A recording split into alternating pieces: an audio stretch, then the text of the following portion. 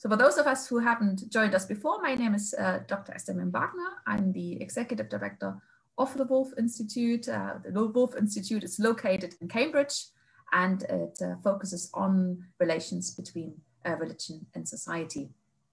With us today, we have some of the Woolf Institute's brightest minds. Uh, we have Alissa Symon, who's a Woolf PhD scholar and also the Jewish co-chaplain here at the University of Cambridge.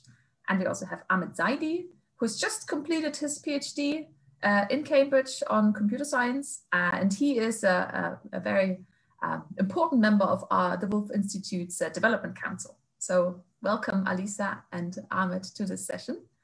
Um, in the episode today, we want to discuss humor and religion. And uh, we want to approach it from various perspectives. So first, we want to talk a little bit about the function of humor in general and the function uh, uh, of humor in religious communities in particular. And then secondly, we want to talk about audiences and about performers. Uh, and lastly, we want to talk about uh, humor with religious themes or on religious figures. We'll watch a few clips during this uh, webinar and uh, our panel members, uh, including myself, will discuss some of the themes that are being raised uh, in these segments. And as usual, we'll leave some time for question and answers in the end. And you can type in your questions into the Q&A box that is at the, at the bottom of your screen. So to the first point, the function of humor in general, humor is very often used to make light of difficult, difficult and, and stressful situations. And this brings me, of course, to the day today. Today is uh, Holocaust Memorial Day. And uh, when we were originally discussing the rescheduling this webinar, uh, we had a few dates and we were wondering whether it's actually appropriate to do a webinar on humor on Holocaust Memorial Day. And uh, we thought about the various approaches to the Holocaust through humor. For example, if you think of Life is Beautiful or of Jojo Rabbit, like one of the recent movies uh, on the Holocaust that took a humorous approach. It's really clear that humor has always been a, a part of the Holocaust memorial landscape. And uh, it also has been sort of an important part of public engagement with the Holocaust. Is that right, Alissa? Yeah, I think I think that's very that's very correct, and I think that um, part of what the Jewish community does on Holocaust Memorial Days, obviously, we talk about um, the tragedy of the Holocaust and, and what it's done to our communities, but a lot of the way that we talk about it and approach it is through is through the cultural life that these communities have, and a lot of that is about Jewish humor. So I think that um, really one very important way to commemorate those communities and their lives, and not only think about uh, the death of the Holocaust, but also that it that it brought in, but also think about the lives that these communities had. A lot of it is embedded in humor. So I actually think this is very appropriate uh, for today. Yeah. Thank you, Alissa. Um, so humor is really a day, uh, it's really a way to, to deal with injustice, to stick it to people in power, to overcome one's own inferiority. And uh, I always thought that humor with self-deprecation is really a very powerful tool for people. And for me, it's one of the, the most appealing uh, human qualities. And hence it's also been a really essential part of many of, uh, of the persecuted minorities in the world. Um, Jewish humor, of course, very famous and uh, uh, uh, an important part of Jewish culture. How is this in, in Muslim communities, Ahmed? That's a really good question. I think um, as the years go by, I feel that you are seeing more um, Muslim humor in, society, primarily because Muslims are going through a period in history where they feel very um, persecuted and feel like they're very marginalized in societies. And in these scenarios, um, you're seeing more Muslim comics come up, talk about Muslim struggle, and I think it's it's very critical. Um, you know, there's, I think the importance of humor. If you take a scientific approach, humor releases endorphins, and endorphins releases reduces your pain and stress, and that ultimately allows you to relax a bit and connect with the individual who's who's talking about the jokes. And I think in a situation where tensions are often high, especially in marginalized groups, humor serves as a really good way to sort of break that barrier and connect with the the other community. And I think it's so important for communities to use humor as a tool to connect with one another and to build bridges with one another. Um, and you know, as we'll see later today, there there is a rise of Muslim comics, and I think it's it's great that there is because it it really allows us to talk about sometimes often very touchy topics. You know, on the one hand, you will see in the video, and we can talk about it later. But on the one hand, topics that might feel very taboo and very you know sensitive can be portrayed in a humor in, in, a, in a comedic sense and that allows people to approach it and digest it in a very different way that creates a discourse that i think is quite productive Alissa, do you have anything to add?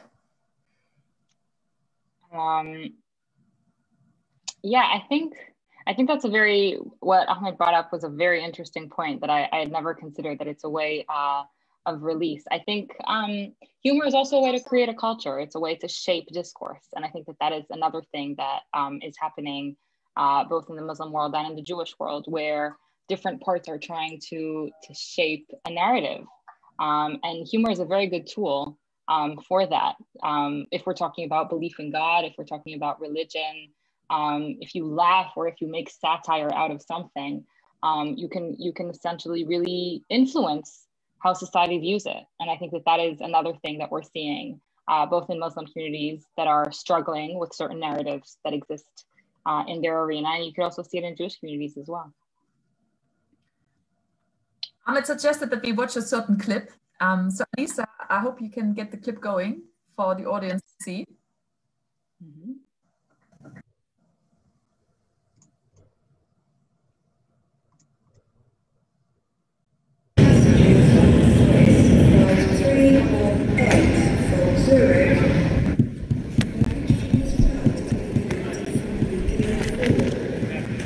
The lamp wasn't there before. the lamp, bro, that's the one. And they changed the paint still. Have you two been in here before? what is the purpose of your visit to Marrakesh? Basically, one of our boys is getting married and we're going to Marrakesh to do his stag do, but obviously we keep it halal. Hashtag halal, bro. Can you both please remove your shoes? Already, Already done it. Not just shoes, come bro. On, come on, G. come on. It's not just that, is it? Laptops, no. belts, phones. Oh, chewing gum. Oh yeah, of course, chewing gum, bro.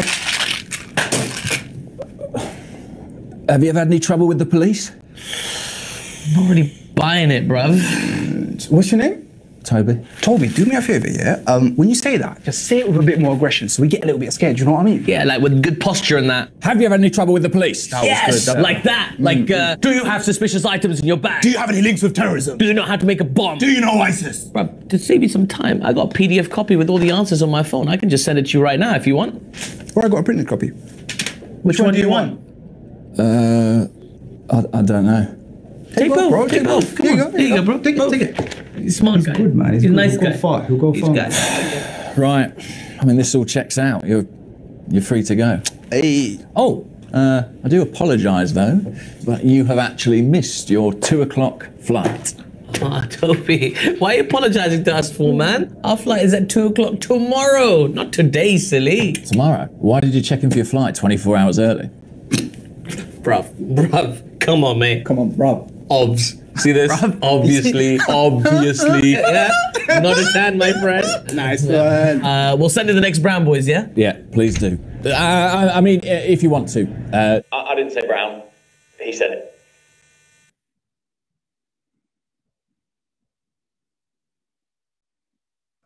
So this uh, clearly demonstrates the points that uh, I made earlier. Difficult, you make light of difficult and, uh, and stressful situations. Do you have any comments on this, Ahmed?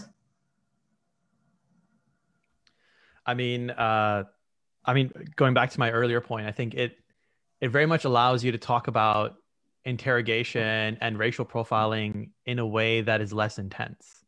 Um, you know, we could have a conversation about racial profiling. I've actually been racial profiled. I had a very similar story um, and uh, and you know I, I could talk about that story in a very comedic sense which would allow people to relate to it and maybe even ask questions around oh right how like you know how do we solve this problem? Whereas if i talked about it in a very serious way in an accusatory way or in a and that's completely justified as well it would be difficult to build that bridge. Especially let's say for example you were talking to somebody who was not muslim and you're trying to explain to them about the muslim struggle or about being racially profiled because you're Muslim.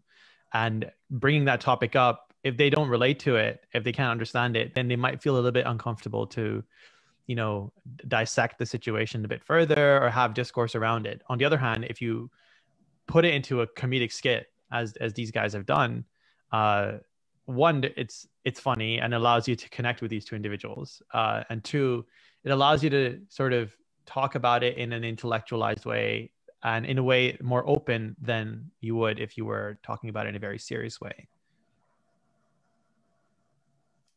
Lisa? Yeah, um, I agree with everything that uh, Ahmed said. I also think that it reverses the joke. So, if usually in these situations, um, unfortunately, like the airport officers feel that it's okay to make a joke on brown, like just the way that they treat minorities is, is it's like, oh, look, we're stopping them at the border. And sometimes you can feel as if like the, the, the minority is the one that is being played the joke on, right? They're all for very, I, I agree with uh, Ahmed that it's, that it, it enables us to talk about criticism, but it's also a tool to reverse who is the marginalized group, who is the one that is being prosecuted right now. And through humor, we can we can reverse those roles, um, in my opinion. Yeah, no, I think that's a really, really valid point. I actually was reading an article about this, and it talks about should we stop making jokes about religion? Should we stop making jokes about race? Uh, and the argument in this in article this article the premise is based on the fact that the minorities are the butt of the joke. But as um, Alissa just pointed out right now, uh, it's in a very creative way. The butt of the joke is actually the officer in the scenario, which isn't a minority. So uh, I think that's a very good point, and that might go into the nuance of humor in general, and you know what sort of is considered acceptable and what isn't. I think in this scenario, because because the like as Alissa said, you're flipping the joke on itself, you flip it, yeah, the minority groups are, you know, it's suddenly the ones making fun of the majority. It seems acceptable. It seems appropriate. Um, but if the joke is targeted towards the minority or the minority is about the joke, then then there's a little bit more nuance and depth that you have to go into to sort of figure out what is considered acceptable. And I think different religious groups have different uh, like acceptability uh, boundaries around humor in that sense.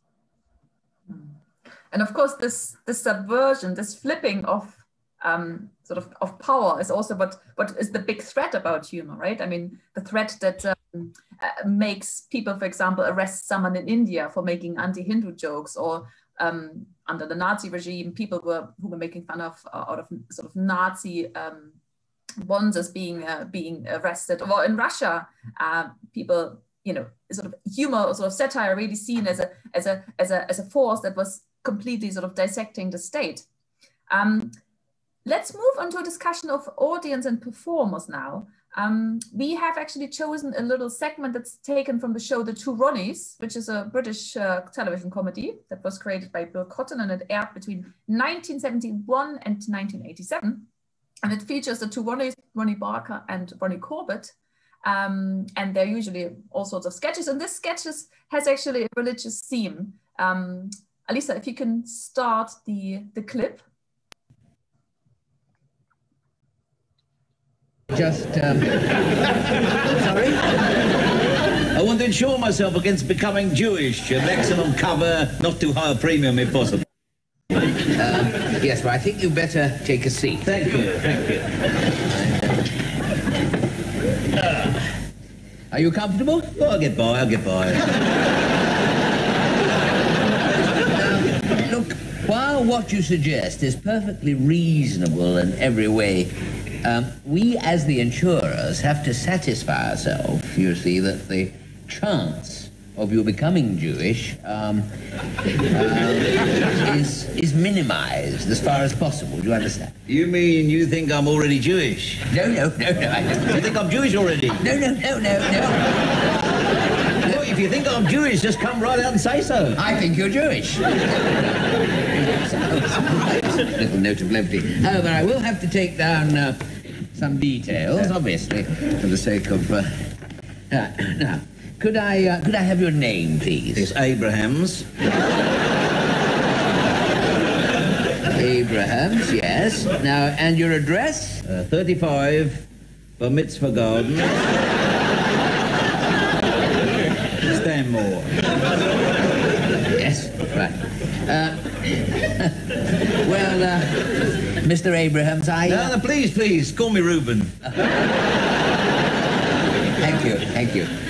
Uh, well, Robin, I... No, Reuben, Reuben. sorry, sorry, Reuben. Um, while I personally Uh, don't doubt your sincerity in any way at all. I mean, I really mean that. I, I can't, of course, answer, you see, for my superiors. Oh, superior, schmuperior. What to do. Now, look, that is the sort of thing that may very well arouse suspicions. That Jewish expression. Look, I can't help my face, can I? I can't do about my own face. I can't do anything about my own face. Look, why don't you accept the word of a man when he says he's not Jewish? Look, look at me, look at me. I'm miserable. I'm miserable. Jewish people have a wonderful sense of humour. They're funny. Look at Max Bygrave. Max Bygraves is not Jewish. Exactly, exactly. All my life, I'm Gentile. Please, I'm as goy as they come. Look, I, I must ask you to leave the office. I really... Oh, what a mashuganella. Please, would you mind, do me a favour, just reconsider my offer, would you please? Look, you don't seem to understand, Mr. Abrams, the very principle of insurance is that you, the client, pay we, the insurers, large sums of money. Yes? Yes, that is it. that, is, that is insurance, you see. Now, were you to ask me to insure you against becoming a Catholic... A Catholic? What do you take me for? What do you take me for? I should want a policy against sudden conversion to Catholicism. You must think I'm balmy. One pound a month. For one pound a month, I'll take it. Look, could you insure my friend Jaime as well? I- against becoming a Catholic, certainly. Oh, that's wonderful. He's outside. I'll just go and get him. It won't take a moment. Thank you. Uh, Jaime, Jaime, the man says he will insure you against becoming a Catholic. I told you I'll get you a good deal. Come on in, come on in. This is my friend Jaime Borgia.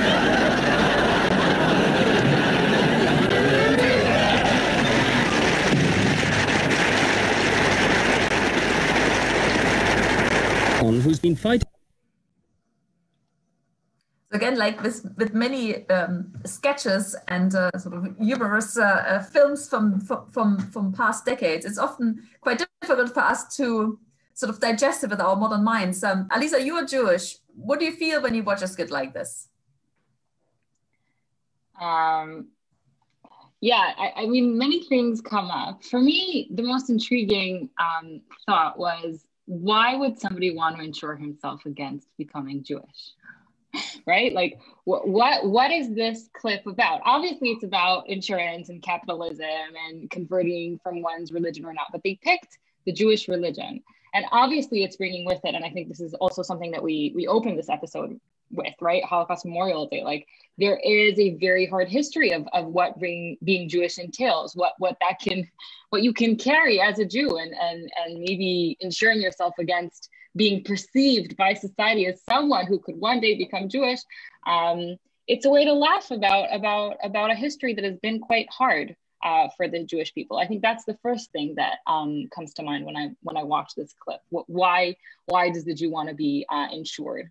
Um, and the other thing, obviously, there is the, the Jewish face, right? The Jewish characteristics that are portrayed. Jewish humor. I'm not funny, right? I'm as serious as I'm miserable, um, which is obviously looking miserable is also a Jewish characteristic. I think, I think there's a lot of um, like a discussion about what stigma is and how is stigma perceived, both by those that are from within the religion, by the Jew in this in this clip, and also by the person who is uh, not willing to sell him that insurance. What is the stigma of the Jew, and how does that stigma change between um, the different perspectives? And I think that again, these are very serious conversations about about uh, Jewish security, Jews feeling security in a secular state, um, what the stigma is of a Jew, both for the, the person within the community and for both for the person who's external to the community. And humor enables us to touch these really contentious topics um, in a way that we wouldn't have been able to do so had we not had this blanket of, of just ha ha ha over over everything. So that, that those are the thoughts that um, that I had when I was watching this clip. And quite a few of these issues also arise, of course, from, from non-Jewish people impersonating Jewish people. Ahmed, what do you think generally? If someone in a skit plays a non-Muslim plays a Muslim, what what reaction does that cause in you? I thought about that, and um, see, the thing is, it depends on the joke. Um, and and this is just my take on it. And I feel like if the joke is, if the joke is something that's that's relatable by Muslims in general, then and it's a good impersonation, then I wouldn't mind. I think. But if it's a bad impersonation and it's the joke isn't necessarily targeting stereotypes that are true, but rather are just, you know, misconstrued, misunderstood situations. So I'll give you an example.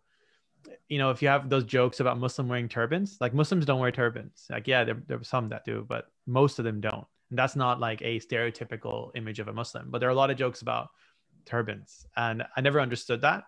Um, and I don't find that funny. And and in, in a sense that that would be considered either dumb or like at, at, at the least dumb at the most maybe a bit offensive because it's perpetuating stereotype doesn't exist but on the other hand if the joke was about something that is actually something that you know very it's very muslim or it is very something that muslims could relate to you know as something as trivial as oh right like pretending like like almost teasing yourself to drink water in ramadan when you're fasting or something like you know trying to marry outside of your muslim circle or group or whatever those things are very related relatable and something that i feel are important topics. I mean, the latter is definitely an important topic to discuss. And if that was portrayed by somebody who wasn't a Muslim, but in a very accurate sense, I wouldn't necessarily have a problem with it.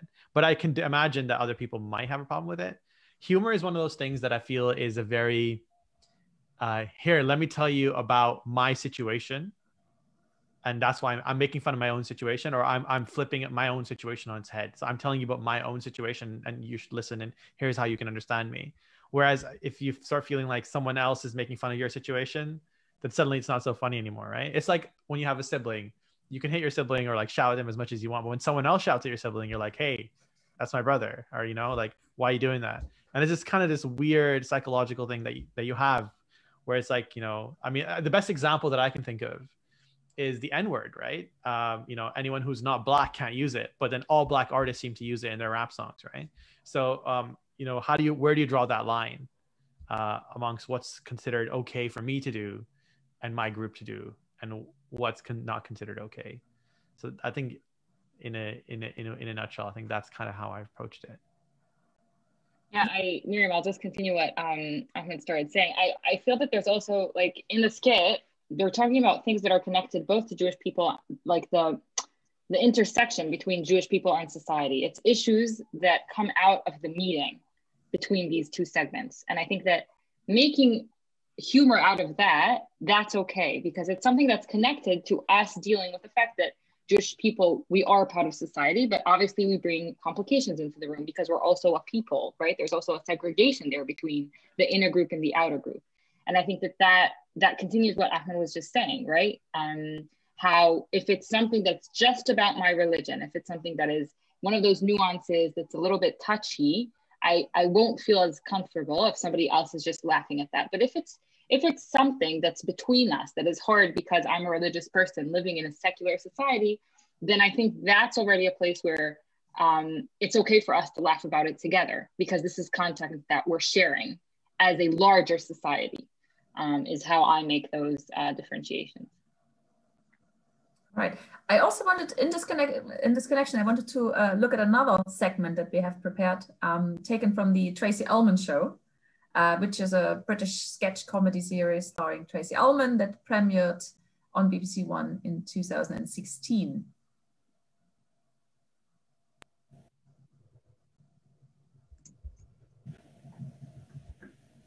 While my time in America isn't directly relevant, I think it gives me an extra layer of experience to draw on. Absolutely, that's very impressive. I hope I'm not blowing my own trumpet too much here. If I had a trumpet this good, I'd be blowing it non-stop. Look, I think we're done here, so I mean, obviously, I can't say anything official right now, but you should expect a phone call. Thank you. I just find it so difficult to boast on my CV. It's just that as a Christian, I. Oh. What? You're a Christian. Yeah, okay. Uh, Is that a. no, not at all. Y- you don't seem to mention it anywhere here. Well, why would I? No, fair point. I'm not planning to run your polymer factory along biblical lines. no. Could you just give me a second, please? Denise, may I borrow you for a second? I'm just interviewing Patricia Hughes here. Oh, Patricia, how wonderful to meet you. Do you know, we're all so excited that you've applied for this role. It's really very flattering when somebody of your caliber. Yeah. Okay. There's a problem with me being a Christian, isn't there? Absolutely not, legally speaking. But you both seem uncomfortable for some reason. Uh, do you think that it makes me untrustworthy? No. Incompetent? A bit weird? I see. Well, in that case, I'll just withdraw my application. Oh, now. It's funny, isn't it? It's been perfectly normal to be a Christian in this country for the last 1500 years or so. But now, well, I'm really sorry about this. it's fine. I forgive you.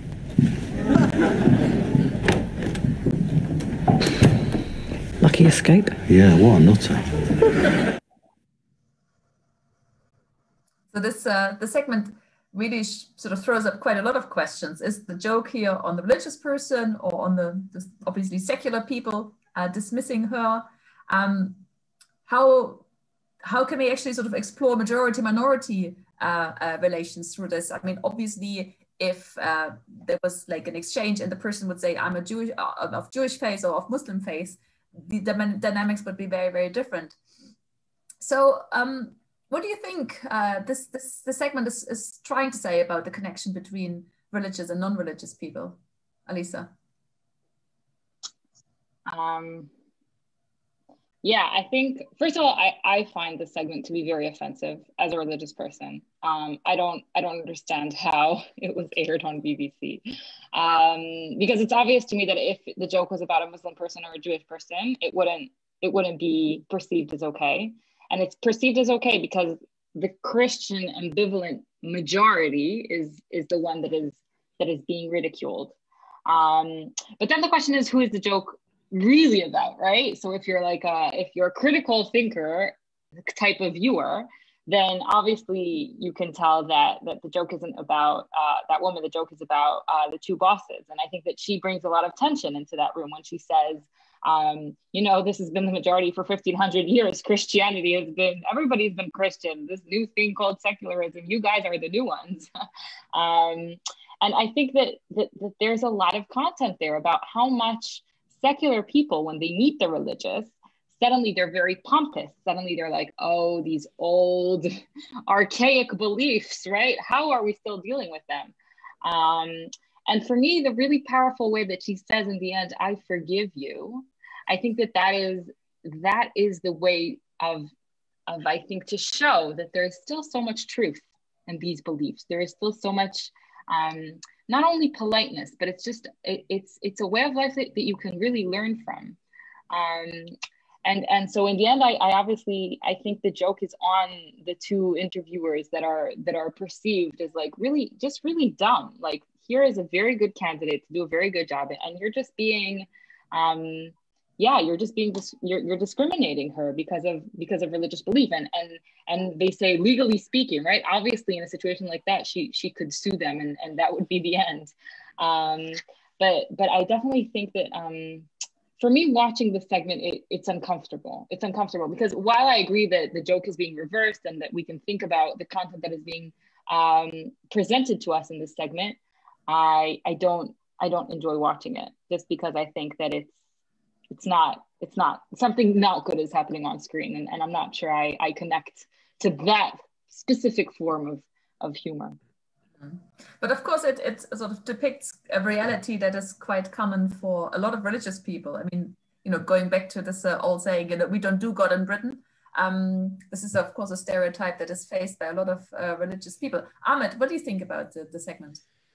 Yeah no I agree, I agree with what Alissa said. I think there's this nuance where um, on the one hand, it's it's assumed that you know religious people, people of faith, are very close-minded. You know, they're they're very um, you know uh, strict in their views. Uh, but I think what this skit, in my opinion, is subtly trying to say is that you know secular people can be just as close-minded, and they're just as you know strict in their views about you know what they think of people of faith. And there is this there is this trend. I feel it definitely in the sciences where if you are somebody of faith, it's kind of almost like a quirk. It's like a weird thing. It's an unusual thing. Uh, it's like, wait, but you don't really believe in God, do you?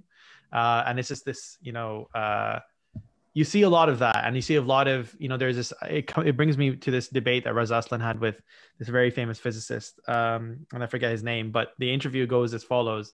He says to Reza, you know, Reza, you're a very good debater, and I think even you know that your views are ridiculous, but to save face, you will continue to sort of, you know, uh, defend your position. and i think that's the general view that there is in society and in in especially in in the sciences so i think in in this sense what Alissa also said that I agree with is that the critical thinker would view this, which then raises the question that is everyone a critical thinker? And then what is the mass effect that this skit will have? If someone's very critical, is a critical thinker and can understand the nuance of the skit, then they'll be like, right, I get this. This is about secular people being closed-minded, or this is about you know Christian people being discriminated against. But somebody who's not might think something else, might not fully get the gist of what this is about, and and and yeah, there is a sense of feeling a little bit like, is this really funny? Do I find it funny? I don't know if I find it funny. It definitely does point out a reality, but is it is it humorous? Um, that that's a different question, I think. We've had a comment from uh, one of our viewers who says, um, Alissa, this is simply a reversal of the decades of experience of Jews interviewing for jobs. It's not about religious faith, but the inversion of the real situation. Um, and I think um, sort of moving on this time, but I think we would be remiss to have this um, this discussion about humor and religion if we didn't really also discuss um, humor of religious themes and of religious figures. I mean, we have discussed the life of Brian in the series. We've discussed a number of other uh, series that have religious figures as a as a center. Um, we have all heard about the discussions about the Muhammad caricatures, the Charlie Hebdo uh, uh, affair. Um, we've all seen anti-capitalist cartoons which show fundamentally anti-Semitic tropes and stereotype. So my question to the two of you is, where do you feel are the boundaries of what can be laughed at? Um, what differentiates a, a, joke about religion that is really funny and leg legitimate uh, from something that is really sort of off boundaries um, within your two faith traditions? Alissa, do you want to start? Um, sure. So um, that's that's a good question. What are the boundaries? And and throughout the series, throughout Shtick, I was trying to to think about the boundaries both for a religious person and the boundaries for a secular person. So I think I think what's what's interesting about about everything that we've watched. Um, so it was Life of Brian, it was The Jews Are Coming, um, is that these are created by secular people about religious audiences. Um, and and a lot of religious people perceive this as out of the boundaries. That's why we had so many demonstrations and so many um, people writing op-eds at how upsetting these series are or the movies right? A lot of the content that we watched on shtick had a lot of criticism because the religious people perceived it as outside of the boundary. You can't make fun of my religion. But then when you tuned in more into the series or into the movie as we did um, uh, during shtick you actually found that they were they were having a really interesting discussion with the contents of the religion, uh, with the with the with the bedrock of what this religion believes in. And I think that in the end, it, it wasn't a secular kind of way of making fun of the religion. It was actually um, an intrigue coming from a secular viewer.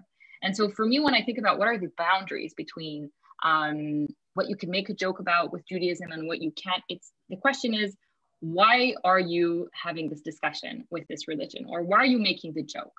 Are you making the joke because you're interested in the conversation that this religion brings in? So if we're talking about, um, for example, the Jews are coming, they make a skit about different segments inside of the Torah, right? Inside, inside of the inside of the religious text of the Jews and they're portraying Abraham in certain way and they're portraying Moses in certain ways. And you can look at that and be like, that's really offensive. Like this is, these are people I believe in. These are people I, I pray about every single day. But you could also listen to what they're bringing between the lines and realize that they're, they're creating a very interesting and rich discourse and narrative with the religion, with, with the content that this religion produces. And if that is the aim, then I think as a Jewish person, I'm not speaking for behalf of all Jews, right? I'm saying from my standpoint, then that is a rich conversation and that, that is rich humor. And that would be within the boundaries of what I think is legitimate to laugh at. If the joke, however, is empty, it has no content, um, and it's just making fun of the shell of the religion. And often we can tell these kinds of jokes because they'll use things that are offensive. So they'll use sexual humor, they'll use bad language, bad mouthing. If that's the content that is brought on, then that for me is outside of the boundary. And, and it would be outside for almost anybody. I wouldn't want to see, I don't like seeing jokes like that being made about any minority group. And, and I don't enjoy it when it's made about the majority group because I just, I don't, I don't enjoy using that kind of humor, um, uh, that kind of satire. So I think that's the way for me to, to, to, to differentiate between what I see as um, as appropriate and, and within the boundaries of, of what, what can be considered good humor, good satire that is using or that is uh, having a conversation with Judaism um, versus things that I find to be more offensive. Um, and it's just, and often the interesting thing is, is that um, my co-religionists, so other Jewish people might not agree with me and they will perceive um, um, the Jews are coming or they will perceive YidLife Crisis as as um, as offensive. Um, but then I think the question really is is is what is the content that is brought into the conversation? And if there's content there, then it's okay to criticize using humor, and it's okay to have rich discourse and to disagree using humor. But if it's just the shell, if it's just using you know the Jew with the with the dreadlocks and the thing and making a sexual joke, then then that's already and it's just the shell of the religion. You're just using it um, that's for me where I draw the line. Ahmed? Yeah, no, I mean, I very much agree with that analysis. It's very well put. The the content versus the shell, I the kind of difference between the humor, and I agree with that. I think, um, you know, thinking about humor and what it's used for, uh, humor is used to tell a story. It's used to help other people understand, and uh, your own people understand some of the important questions that you have in a society or in a group of people. And uh, that's the best kind of humor. And honestly that's the funniest kind of humor. Uh, but if you have the humor that's simply just very very shallow very surface um, you know building on stereotypes that aren't necessarily true uh, that's the kind of humor that can be perceived as offensive. And i think those are the kinds of humor that need to be discussed um, in a little bit more detail and, and thought about. Well do we what's the point of this joke? What is the what are you trying to elicit out of people in this joke? What's your contribution with this joke?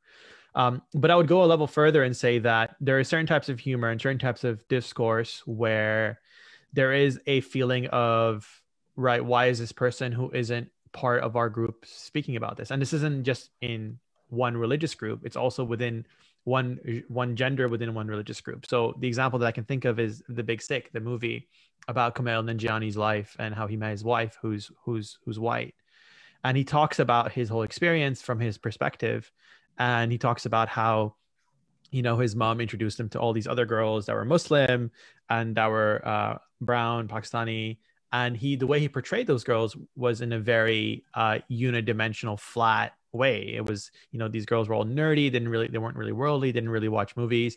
And um, immediately there was a backlash by Muslim women saying, well, this is so offensive.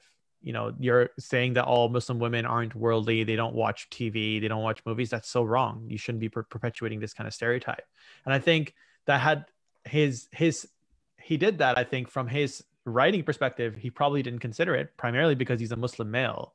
Um, but secondly, he, you know, from his perspective, he's probably going to say that, you know, I was just trying to make it so that the only possible outcome for me was this girl, this white girl that I married in the end. But in reality, uh, had he been a Muslim woman, one, he probably wouldn't have made the joke that way, and two, you know, it probably wouldn't have been perceived as offensive because he's within the group.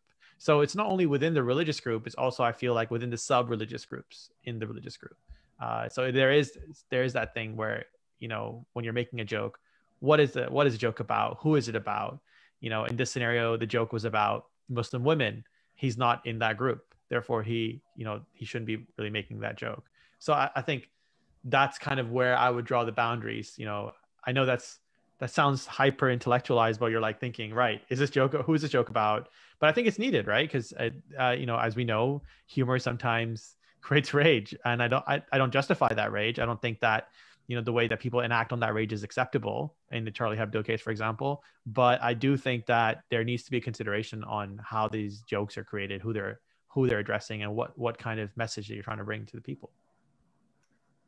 We have now time for a few questions. We have a few more minutes. Um, so if you have a question, please type it now. Uh, we have a statement from Lena. Uh, hello, Lena. Uh, she writes, one issue with defining boundaries and determining what is permissible or acceptable humor is that the nature of humor itself is transgressive and pushing boundaries. So then the question becomes how elastic are or should humor's boundaries be? This is also where context comes in, so context, so setting, social, political context, and so on. And um, it's so important. Uh, the same joke might play out or be funny or not be funny in different contexts. Do you have any comment on this? Um, I have a comment on that. I think the the idea of elasticity is very, very true. I think the same joke in in one situation can be um, funny in, in in scenario X, and then in scenario one Y, it could be just really inappropriate and offensive. Um, but I do think that we could always get a little bit trapped in this conversation of context. I think sometimes that becomes like a loophole where we or a rabbit hole that we fall we fall into um, when we say, well, you know, he was making this joke, but it was actually taken out of context because it really was okay. we hear this a lot with politicians and the comments that they make, um, and also within like interfaith circles and faith leaders that I've been part of. Um, sometimes people make jokes and and and they perceive the context to be fitting. Um, but then when I reflected about that joke, or I reflected about the scenario, I was, I really, I just, I just thought that it, it just didn't matter what the scenario was or how open we all are, or what a nice, it's just, there are certain things that may, maybe don't joke about them in that way. And so I agree with it, um, with what Lena's saying, but I also feel that sometimes um, there are there are certain boundaries that are very very hard and it's very um, easy to notice them and and it's not always very elastic so i think like one of these things is when you when you make a picture of a jew a character of a jew and you're using again the dreadlocks and the money coins and whatever everybody is going to think about anti-Semitic tropes there, right? It's going to be very good. Now, I've seen for this. This is actually a really good example. I've seen a comic strip which uses all of the anti-Semitic tropes. Uh, it's called Diaspora Boy, and it's making fun of like this the relationship between diasporic Jewry and and Zionists. But he's util- he's utilizing all of these symbols, these really hard symbols in the Jewish world, to express what he thinks. Now, you could say, oh, it's it's in this scenario, it's okay because the person who's making the comics is Jewish. He's talking about an inter-Jewish um, conversation, and it's okay for him to use all the anti-Semitic tropes in his comics. But then, if you think about it, then when he's using these anti-Semitic tropes in the comics, he's creating a situation where some of the Jews are considered not legitimate, and some of the Jews are legitimate in his perception. And so, in that in that situation, in that satirical comics, it made me realize that no matter what or in which setting you in which setting we are even if we're all jewish in the room and even if it's an inter-jewish and it's just satire and it's comics and whatever taking a painting a jew in a certain way is just it's always going to take you to to certain thoughts and certain memories and and it's always going to be delegitimizing some person. Um, and so i agree with lena but i also think that sometimes it's just it's not that elastic. Sometimes there are just things that you can't really touch in a certain certain way. Yeah. Yeah no i mean i think uh, there's a lot to unpack there. I think sort of working backwards with what alissa was saying about you know there's certain areas that you don't want to touch. I think that has a lot to do with there's certain areas where there's certain ways that you don't want to be portrayed. And um, i'll give you an example from from shia islam uh, there's you know a lot of jokes made about self-flagellation you know uh, in muharram and uh, people joke about that. And but the thing is, within the Shia community, joking about it is considered okay.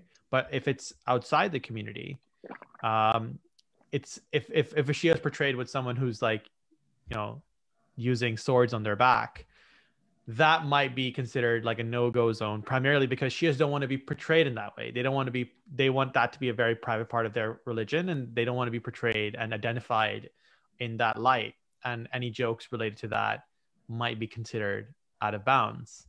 Um, so that's definitely true. On the other hand, I think stretching comedy uh, and humor, I, I associate that with stretching culture, and I think that that is incredibly important, especially when you think about certain societies. Um, you know, so in Pakistan, there was a very famous movie done about the struggles of a uh, transgender boy, and the whole story and his sisters and how the dad disowns him and everything. And that was a very important issue because there is a there's a large group of um, you know of of transgender community in in Lahore where I'm from, and that was a really critical movie. And there wasn't necessarily humor. There was some form of humor, but there wasn't necessarily humor. But I'm I'm trying to allude to the fact that there are certain conversations that need to happen and that does stretch culture and i think in those situations humor can also be used to stretch culture and talk about things that are quite difficult in that society i would even say that talking taking a humor approach would come first before taking on a very serious documentary series where you're talking about transgender rights in in lahore or in pakistan whereas that same situation in another country let's say the uk would not be considered as controversial. And similarly jokes in that scenario wouldn't be considered as controversial. So there is that there's that element. And i think i tend to view stretching humor as a positive thing as long as the humor is stretched with a with a direction that is well motivated and comes with a message which is something that's important in society that needs to be discussed. You know i often joke about um, you know people you know in in Muslim in Muslim societies, you know, it's like uh, the, the, joke that I always talk about. I mean, I'm not saying I'm like a comedian or anything, but I'll always be like, you know, this is a typical Muslim Muslim interaction. It's like, oh, what mosque do you go? Like, oh, are you Muslim? Yeah. Oh, oh, right. Are you this sect? Yep. Cool. Is your mom Muslim? Yeah. Cool. You keep going down the list, and you're like, oh wait, do you drink water with your right hand or your left hand? Like left hand, it's like, oh man, I can't be friends with you. I'm sorry. You know. So there's this thing where like you know there's this constant thing where everything has to match but that's a real issue and i think that's a real problem and i think there's although i joke about it it's much deeper. I think you know there's this exclusion feeling that you have in the muslim society that i feel needs to be talked about and instead of saying right no muslims are so exclusionary that's not that's not going to have any movement but when you talk about it in a humor approach and you portray in that way that makes people understand they're like oh yeah no i get what you're saying and that creates discourse and if you can keep stretching that i think the net effect is positive, but you always have those outlier edge cases which are negative. And you know, it's very difficult to set rules and boundaries that abide to all forms of jokes. You know, like there's some sort of rule book to say, hey, if this joke about this, yes, no, why, etc., and you would be able to say, yes, this joke is appropriate. It's very difficult to define those boundaries, and as a result, and and as uh, as Lena said, you know that that point is always stretching as well. That what those rules are always stretching as society goes forward, um, it's really difficult to say, you know, what's considered acceptable. Uh, but I do think that the net effect of humor, in my opinion, is positive because it does allow you to have conversations about things that you wouldn't otherwise be able to talk about. All right. I think that's a very good last sentence because uh, we've actually come to the end of our time. Uh, I would like to thank the panelists very much for being with you. I would like to thank the audience for sticking with us. And um, do come to our other webinars of the Woolf Institute. Check out our webinars and other events on the uh, Woolf Institute website. Um, and uh, goodbye, everyone.